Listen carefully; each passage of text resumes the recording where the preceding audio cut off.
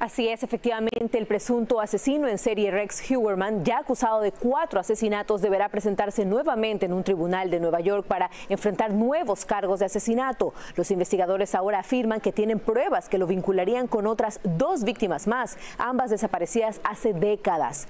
Los restos de las mujeres fueron encontrados a 40 millas de las otras víctimas en Long Island, Nueva York.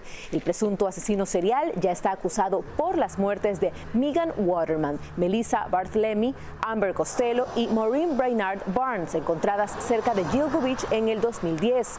Él se ha declarado no culpable de matar a las mujeres a quienes habría solicitado servicios sexuales. Las autoridades dicen que lo vincularon con los asesinatos a través de su distintivo vehículo y al recoger muestras de ADN de pedazos de pizza tirados a la basura por él.